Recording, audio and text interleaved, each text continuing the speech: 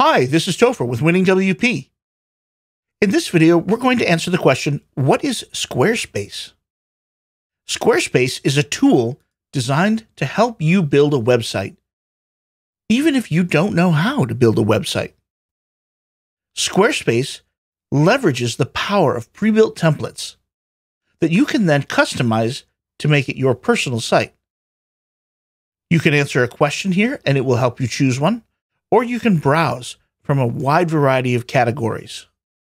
Once you've chosen your template, it's easy to click and edit the graphics, the text, contact forms, and all sorts of things. If you go to the tour page, you can see some of the great sites that other people have built.